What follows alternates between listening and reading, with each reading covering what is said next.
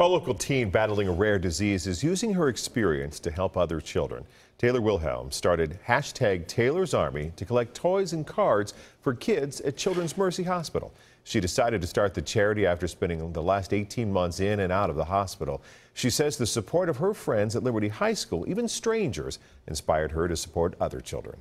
Obviously, being in here isn't fun, but I think that's a way to make it more fun, and I feel like they feel really special knowing that someone went out of their way to help a stranger and stuff like that.